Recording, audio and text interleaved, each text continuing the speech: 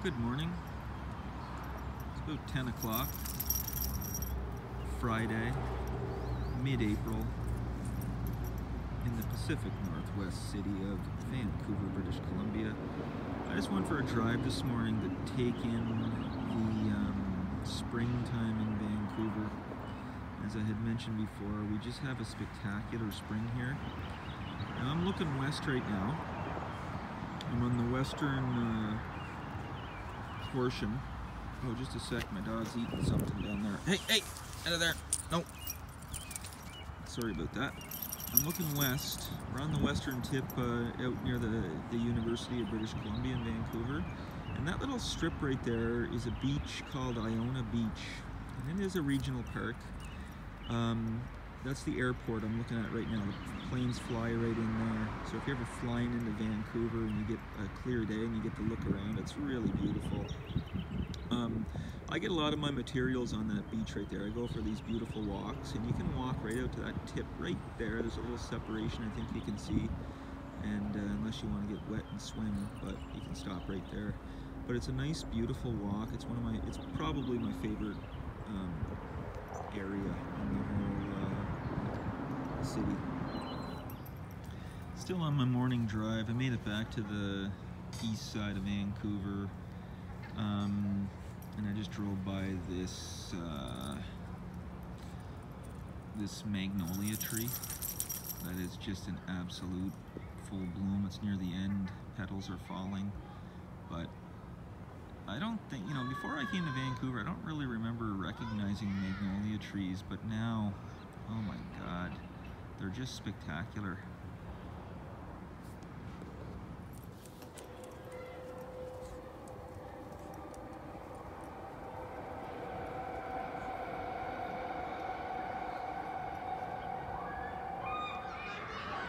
And one last stop before I head home and get to the studio. I just dropped a book off at the library. And uh, there's a shot of the downtown looking west from East Van. And if I spin around, you can hear some kids in the background. There's a schoolyard here. And the mountains. You know, so these kids, you know, playing on a playground, beautiful mountains in the background really nice park area and um, a shot of the downtown. Beautiful Vancouver. Guys, I still haven't made it to my studio. I'm still walking the dog, doing some errands. There goes my man Jay. A very special man indeed. Um, so Sam is working on this house project with us and he is the young guy that's helping me with some techno technology uh, stuff on YouTube. And um, Stan, Sam is studying computer science and we really enjoy having him on the project when he has time. And having his lunch up on a scaffold, folks. It's just a beautiful day to do so. I agree. Sam has uh, been, he, I think of my seven videos, he's one of the four comments. Thanks, Sam. No problem at all.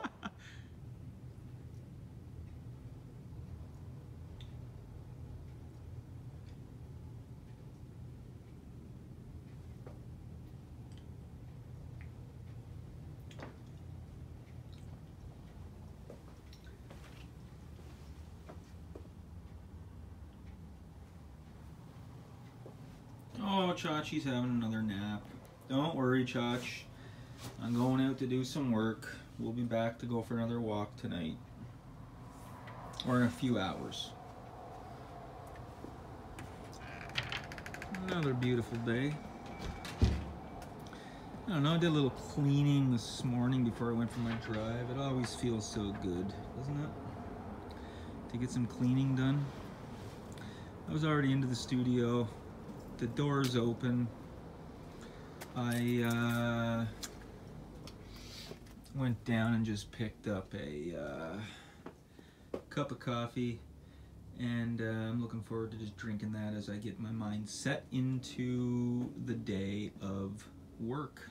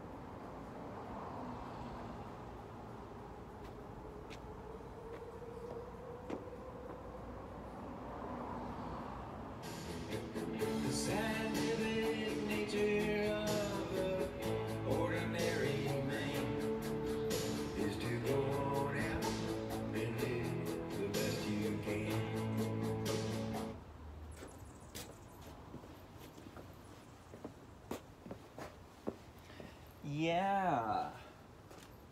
Just that line. The scientific nature of the ordinary man is to go on out and live the best you can. Good old John Prine. Yeah, he's an artist. He's a singer-songwriter that, uh, my goodness, I really love um, his writing, just the whole thing about him. I remember uh, getting introduced to John Prine when I was teaching English in Korea. A friend of mine was playing a lot of guitar at that time and he was really into him. And to be honest with you, I wasn't really um, paying attention to my friend, but it introduced me. And then it was years later, I was at a party out in the woods in a cabin. And then uh, this song came on. I forget, it was uh, from the uh, Bruised Orange album. And um, I remember immediately saying, who is this? And I want more. And then the guy told me it was uh, John Prine. So, yeah, John Prine passed away, uh, COVID. Um, I think during the first year of COVID, he, he, he was dealing with throat cancer before and he had a surgery and uh, he was a smoker. You know, I think two of his albums, if not more, at least two, you know, he's on the cover smoking a cigarette, so.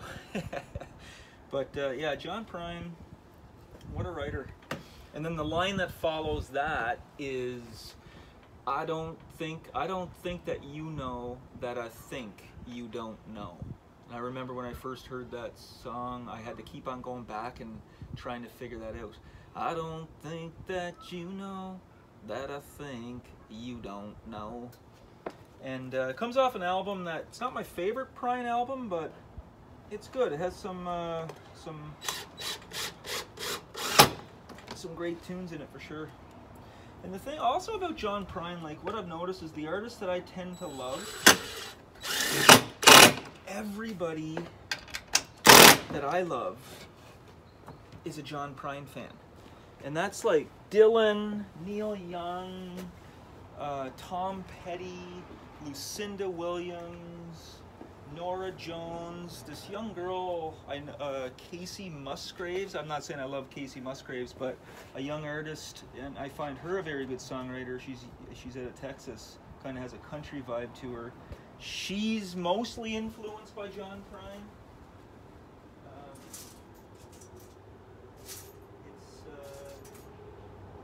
know, a lot of us are tending to look for all these quick fixes in life and how to get healthy and, and you know how to do all these, you know, you know whatever to feel good. Well, John Prine's uh, he's an artist that can help you live, um, teach you. Like, his writing is just very simple, but very deep at the same time, and it's just kind of for the every person.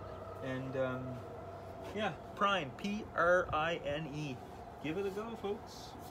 So I'm just uh, setting up a little jig here. This old pot I found basically fits this ball, so that way I can just hold it as I'm sanding it, and it just sits in there. So that's all. I'm just gonna do some sanding today and um, finish me coffee and uh, hopefully make some headway. We'll see what happens.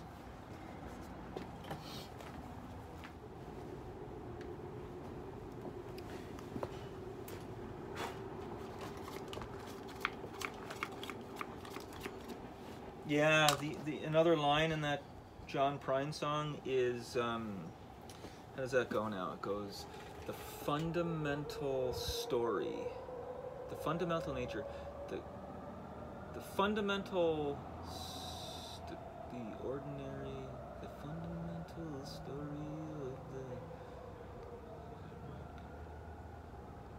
The fundamental story of the contemporary man is to walk away and someday understand.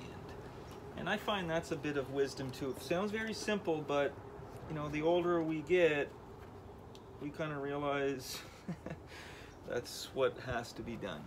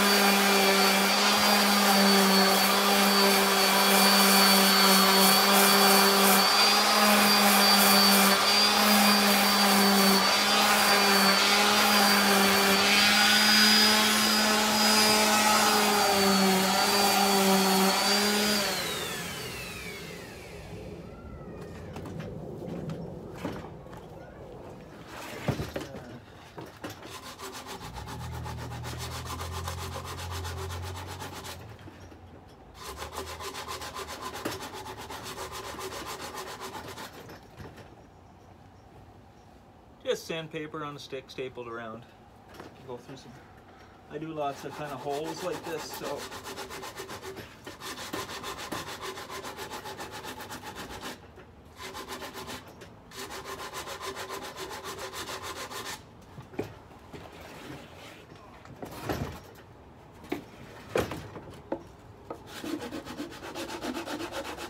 You just saw a video of Sam, the young student that's helping me with some technology stuff, website, YouTube. I don't have a clue, so I just I had to phone him up last night actually, or text him last night. And he's so smart, he's so sharp, and he helps us on our job site once in a while. He's been working for Jay for a few summers, and uh, he's just a great. Uh, he's so he's just sharp. I don't know what else to say. It's pleasant, funny, and um, after I turned the camera off he said that he just picked up uh, the book that I had recommended to him called uh, Shop Class as Soulcraft, written by uh, Matthew Crawford. And Matthew Crawford, um, you know, he was a philosophy, PhD in philosophy or something. And uh, during the summers, uh, when he was doing his university, he used to work in a mechanic shop. So he learned the uh, skills of uh, working as a mechanic and worked his way up and and um, the book kind of talks about um, you know working with your hands and the different uh, sort of mental capacity that it takes and what kind of uh, smarts and and how to figure things out and you know physical realities and stuff like that. It really influenced me. It was a really excellent um, read and I think about it all the time of uh, a lot of the work that we're doing. A lot of people seem like they're, um, you know, always looking for uh, something in their lives, and they're they're looking for, um, you know, some sort of magic potion. But you know, getting out in the backyard and digging a hole and you know, planting a tree or putting a post in or something like that. Like to me, that's just when you're doing something like that, using your hands and having to think ahead and stuff. It's healthy uh, unto itself. So the book is really good. Shop Class as Soulcraft. That book got recommended to me uh, via Bret Weinstein and Heather Heying. Actually, she's the one that recommended it. She's she's doing most of the reading on their. Uh, uh, you know, they do their podcast together, the Dark Horse podcast, which I really enjoy. Like, you know, they have been um, uh, standing up strong over the past few years and keeping to their integrity, keeping with the scientific process, trying to educate. Uh, you know, they were educators. They they they prepared uh, first year students for 15 or 14 years. They were the most popular professors at their school. So I don't know how many of you guys know their story, but to me it was really disturbing to watch it. And um, they have been uh, such excellent teachers and professors to me over the past uh, three years on their podcast, The Dark Horse.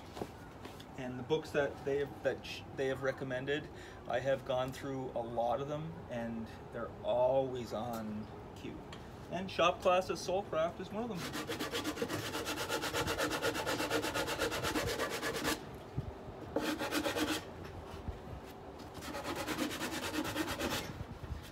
So let's see how she fits, folks.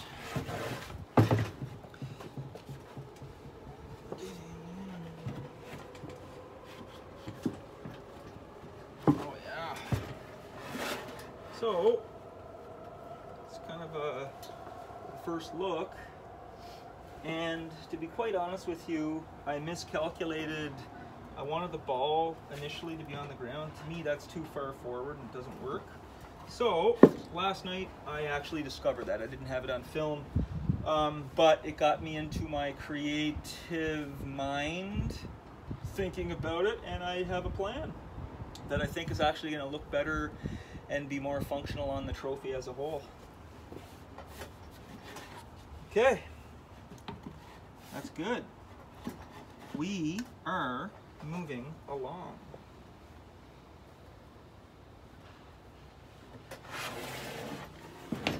I'm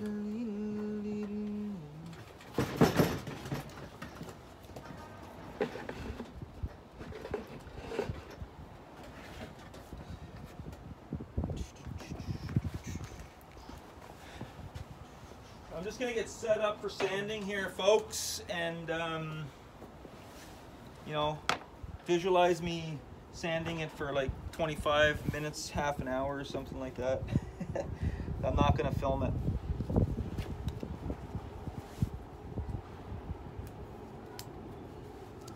Such a beautiful day here.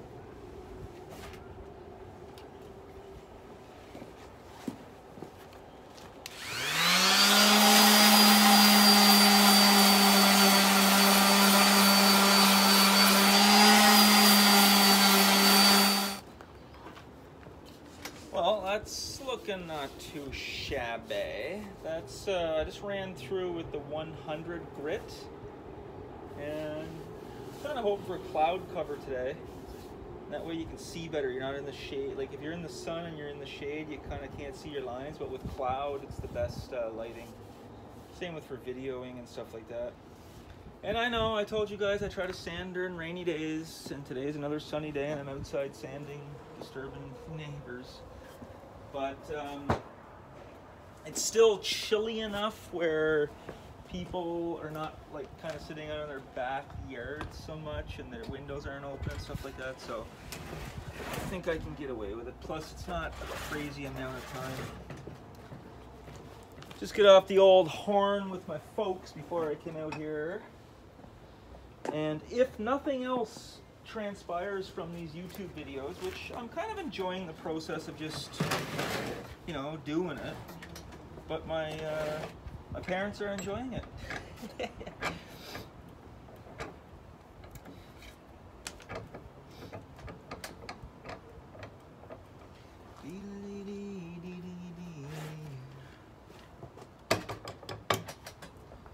Gonna have to.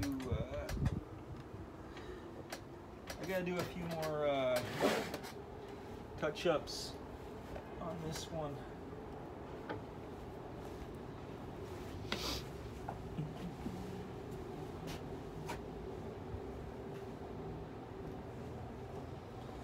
Is to walk away someday understand.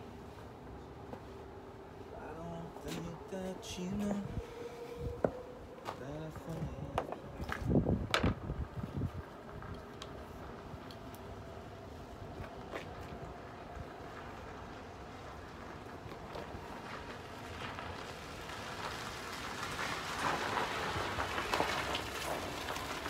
How's it going? That's nice. It's gonna be a big baseball glove Like the handprint in it. with a ball there and stuff. You grind it all out, right? Yeah, I'm gonna. I just I'm still shaving away and stuff like that. How you doing these days? I'm good. Yeah, kids, Kids from school. kids from school. You're doing it. Bring back. You're it. doing it. You're doing good. They always seem to be so happy. Crazy kids. They're happy though. Hey, eh? Now the weather's good. Now they're gonna want to be outside all day. and as you should be too, right? We gotta be. Later. Take care.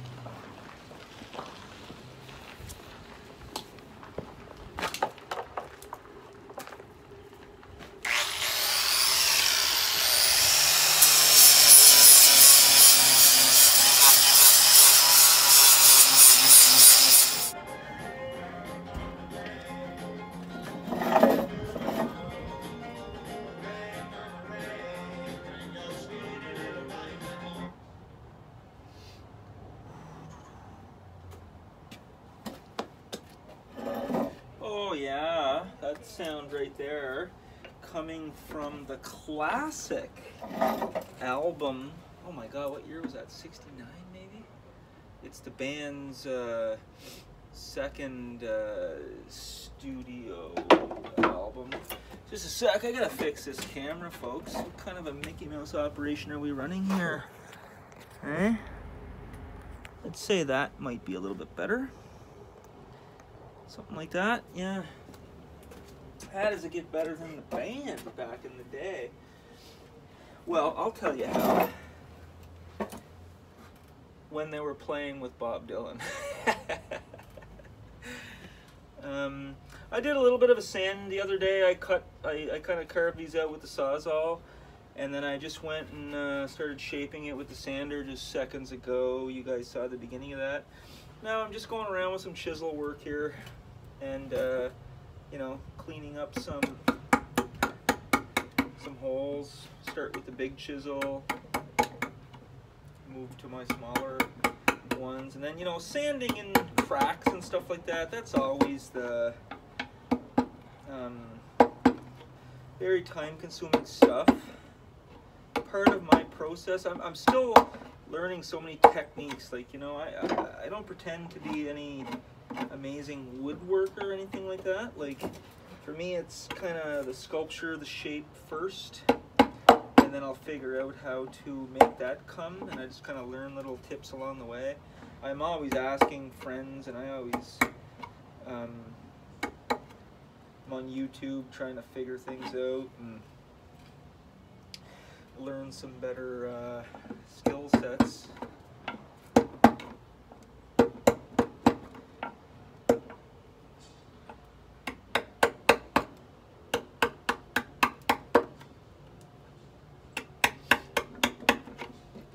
Was speaking about my nephews on my older sister's side that live near Portland, Maine the other day. Well, my younger sister, Vicky, her two kids are so uh, so awesome. They live in New Brunswick, Luke and Abby, and um, Abby was just here last uh, summer in the summertime with my mama, and it was very good in many ways, and it was a bit tragic in other ways. Like I, uh, I freaking got COVID. Lemieux and I, my wife and I, we we got COVID a few days into it, and um, that was a pretty disappointing thing. and you know, for a day or two, I was denying it. Like I just felt sick. I didn't realize I, you know, I didn't really think it was COVID. So Abby and I, and she's probably gonna get mad at me for telling this story, but I'm just gonna go about it anyway. Um, Abby, who is a very talented athlete in her high school and club teams back in Miramichi, New Brunswick, my hometown. Um, you know, uh, her and I went over to the mountain, Grouse Mountain, and did the uh, well-known Vancouver hike, the Grouse Grind. And um, me, at 45 years old, or 46 at the time, 45, and full of COVID, a bad knee, you know, 15 pounds over my fighting weight. I just smoked that young athlete up the hill. but um, no, all jokes aside, Abby is such a sweetheart. Um, she's very uh, mature for her age. She, um, you know, she's a really excellent young, young, uh, young woman. It's gonna be interesting to see what kind of uh, what interests and where um, the future takes her and what kind of a career she's going to choose for herself. She's a really good basketball player and a good soccer player, and I think she was playing some volleyball, but um, I don't know if that's still a thing. And then Luke. Luke is a. Uh, Luke's an artist. So him and I, we uh, connect on that front. And um, Luke draws. He plays music. Um, and he's just an all-around pretty cool dude. But he's also just finishing, like Campbell, his high school hockey career. And Luke's a big uh, defenseman. And uh, a very good one at that, from, from what I hear. I haven't been able to watch them, watch them play. But, um, you know, Is, uh, he was rushing the puck, scoring some goals, and on the, he was like one of the better defensemen on his team this year. They were, so he had a lot of ice time and all that. But Luke will be graduating high school soon and is planning to go to Mount Allison University in Sackville, New Brunswick, where he will be doing an education degree with maybe thoughts of, of going into art education. So uh, Luke's cool, man. He's listening to some. He's we're talking Nirvana. He was asking me about Nirvana there a few weeks ago, and you know that happened when I was in high school. Um, I always kind of preferred Nirvana over Pearl Jam. My buddy Kevy was a big Pearl Jam fan.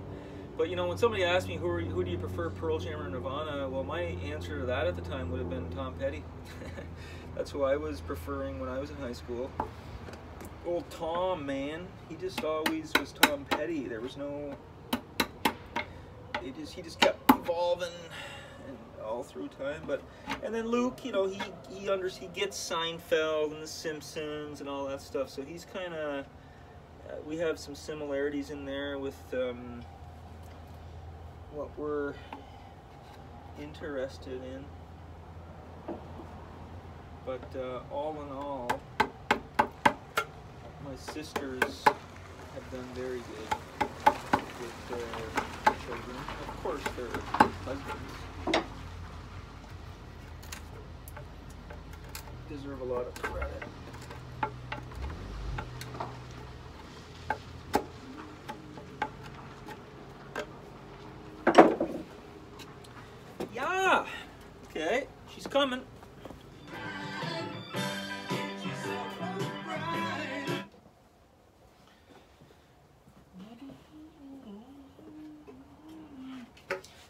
The band and Bob Dylan.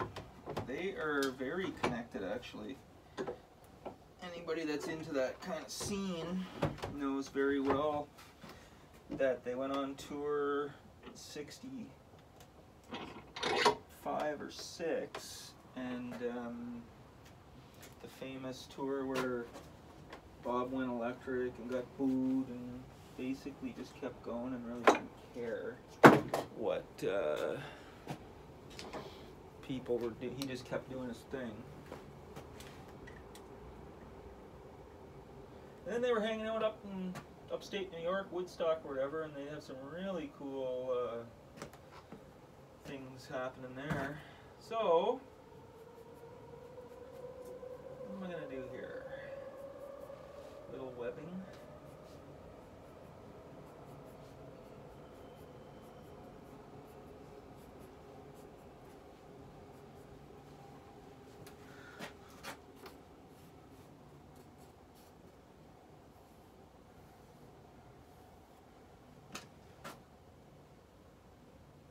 I don't know, something like that.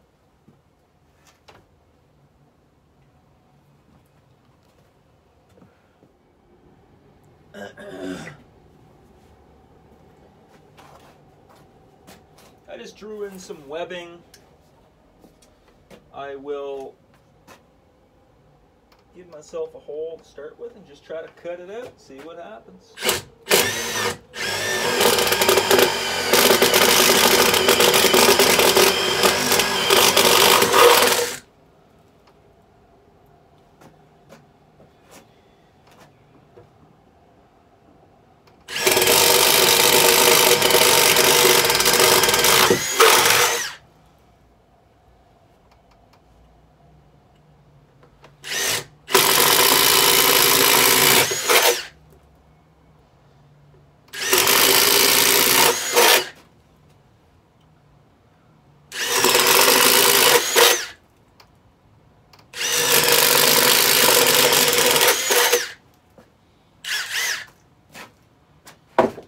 Just picked up some new tools today.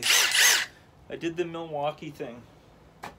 Just our local place, Summit Tools. The deals are good. Um, you know. I did not tell my wife I was spending that money though, so that could be uh, had to be done, but I'm just kidding. She is always telling me to get some good tools. Now, let's see how this works.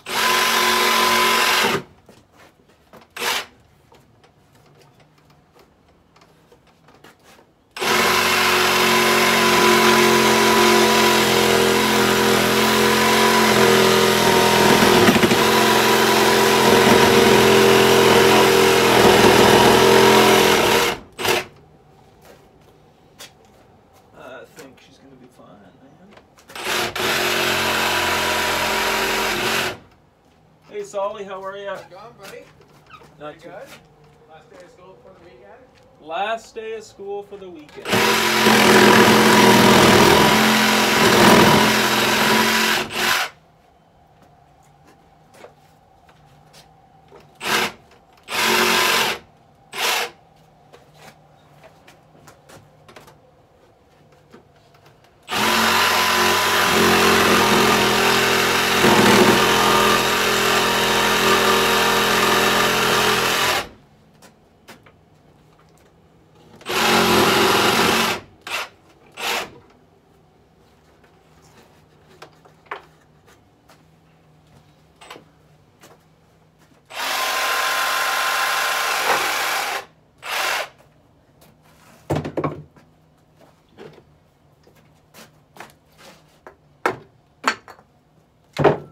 Yeah. Okay.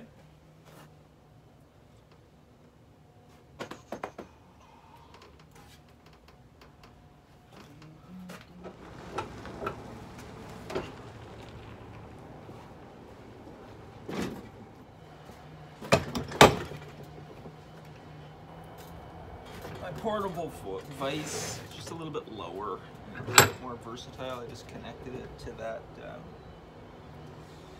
uh, piece of wood a couple of years ago, and I just use it out here if I have to sand something. This is probably better.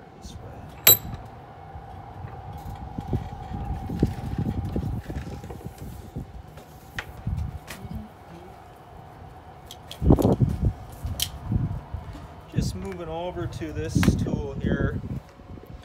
Um, am I plugged in? So handy. Uh, nobody ever knows what to call it, so a shout out to Rod Vaughn out in Tsawwassen, one of the mentoring carpenters that I uh, jump in with from time to time. He and his crew call it the Nibbler. so I brought it to uh, East Van, and now Jay's crew calls it the Nibbler. Everybody seems to like that name. I'm just gonna go through these webbing holes and make this a little bit more uh, uh, beautiful.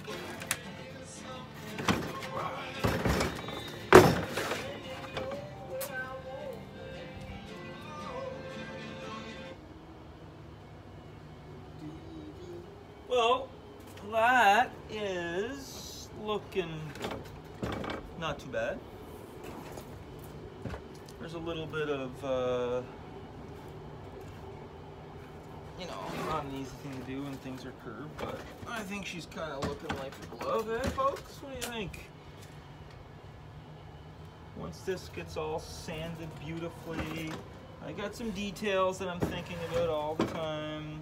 How this is all gonna take place. I'm a little off the mark there. Ooh. Okay. Well, I gotta come back and uh, fix up some stuff, but I think I'm gonna take my little cha-cha for a walk to the park. It's such a beautiful uh, day and get her running around, chasing a ball, talking to some people, taking in the beautiful spring day in Vancouver. Come back out for a few hours, a couple hours this evening.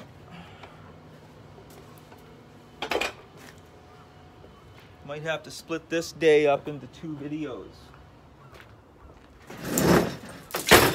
For time. I don't know how to do the technology. Like I, like I say, I'm doing everything off of my phone my computer is so old that I tried to download uh, iMovie onto it and it wouldn't even take it. So I'm doing everything off a telephone. so baby steps, baby steps.